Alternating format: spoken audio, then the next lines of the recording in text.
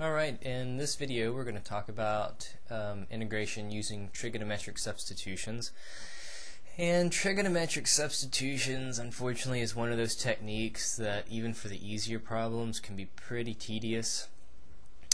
So, it's just the nature of the beast here.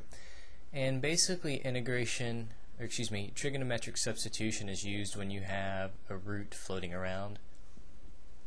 And the roots are of the form a, where a is a number, so a squared minus x squared, we'll use a particular substitution. If it's a squared plus x squared, we'll use a particular substitution.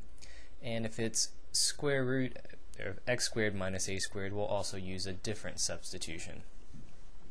So let's do one, and I'm going to do two examples. The first one I'll do is an indefinite integral, so we won't worry about the bounds on theta just yet. So let's start off with one here. So the first example I'm going to take will be, we'll integrate x cubed divided by the square root of x squared plus 9. So I go back to my little sheet and I see, okay, a variable squared plus a number squared. That means we'll use this identity. So the number being squared is 3. So that means the substitution I'm going to use is going to be x equals 3 tangent of theta. Okay. Well, now I know what x is. I also have to calculate dx. So dx, recall if x is 3 tangent theta, I'll get 3 secant squared of theta d theta. And that's what I'm going to plug into my integral here. So I'm going to rewrite all this stuff. I'm going to have x, which is 3 tangent theta,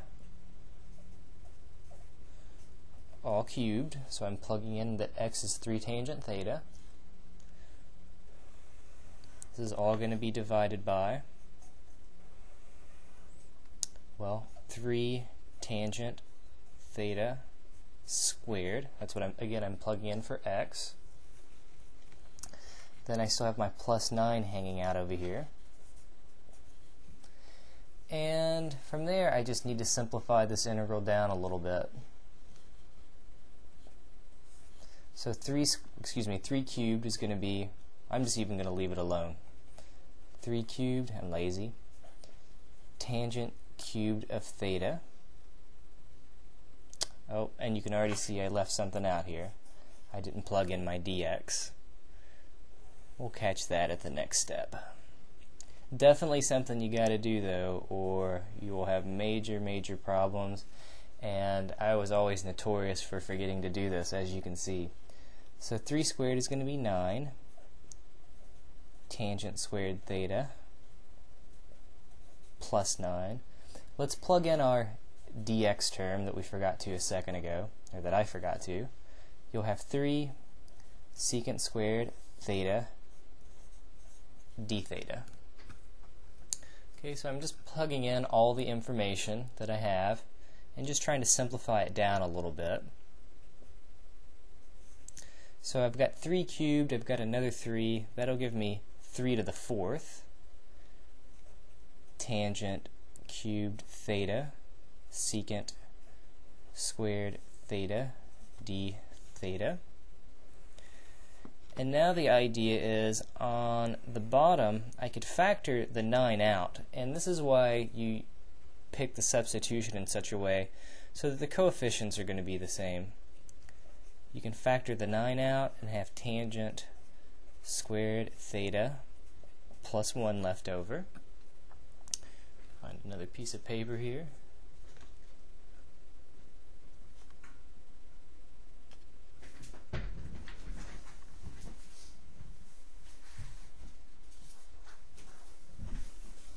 Alright, sorry about that. So now let's keep simplifying this down a little bit more. Again, nothing major that we're doing yet. We're just simplifying, simplifying, simplifying. Okay, so at this point, again, I'm not doing much of anything on the top.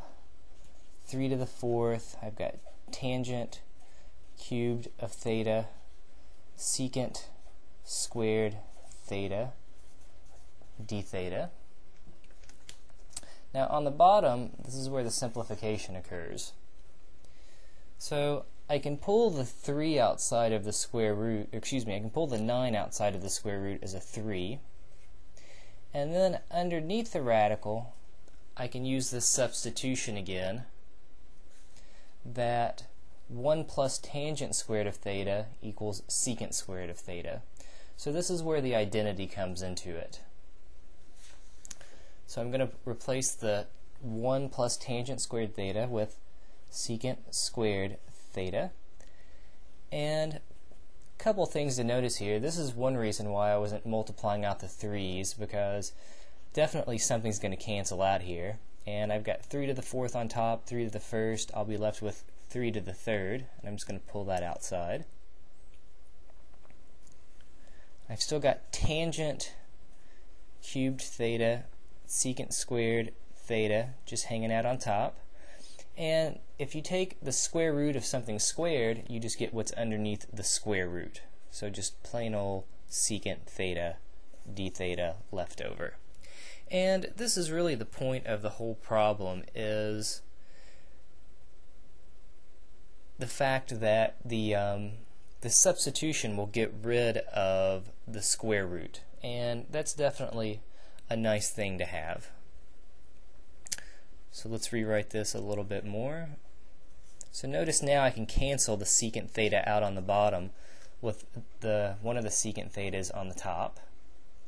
So I'll be left with tangent cubed theta secant theta d theta.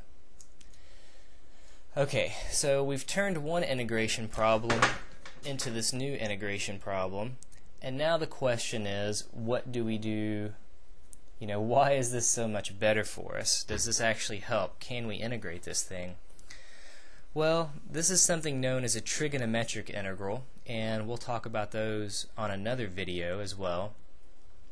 So, trigonometric substitution definitely ties into what are known as trigonometric integrals. So you'll want to be pretty good at trigonometric integrals um, to really have a shot at some of the trigonometric substitution problems.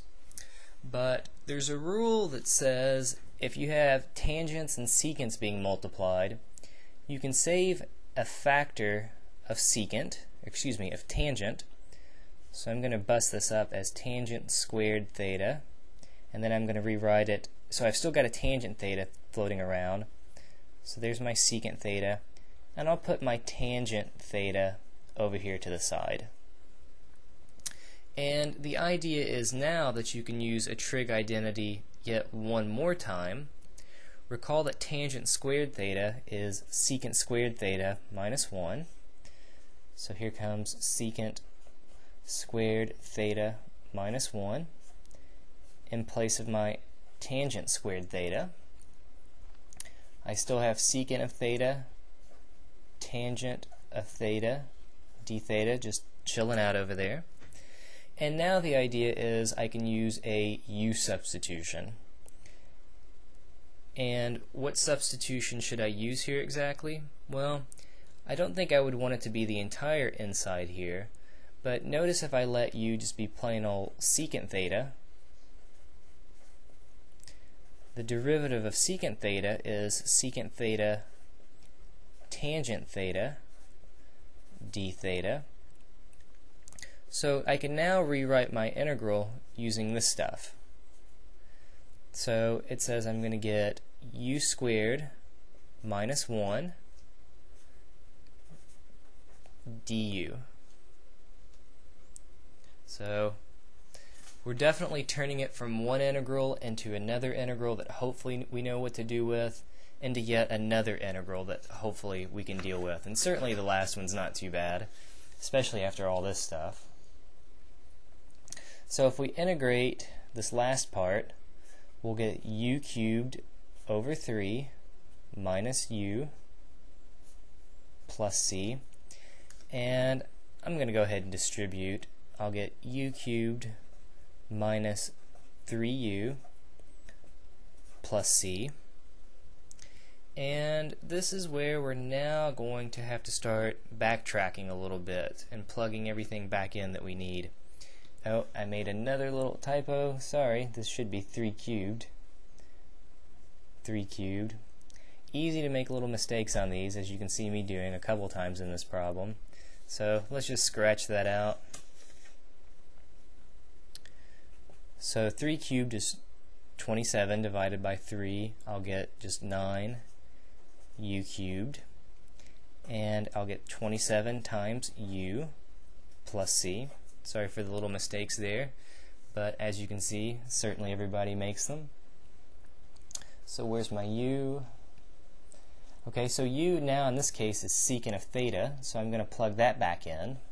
I'll get 9 secant of theta cubed minus 27 secant of theta plus c. So again, I'm just plugging in my original u substitution that helped me out from before.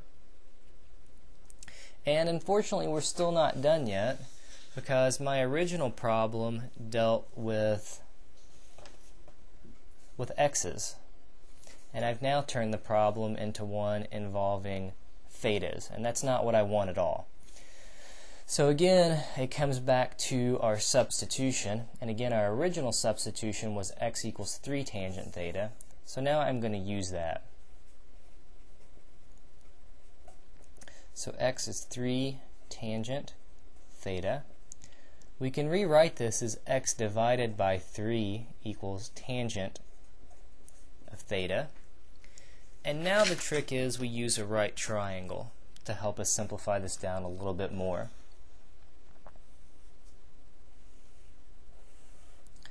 So here's theta. Remember tangent in terms of a right triangle is opposite over the adjacent. And you can then use Pythagorean theorem to solve for the missing side. So the missing side will be the square root of x squared plus 3 squared. So we'll get x squared plus 9, which, hey, that was a coincidence because that was the radical that we started off with. Or maybe it wasn't such a coincidence. I'll let you think about that one. And recall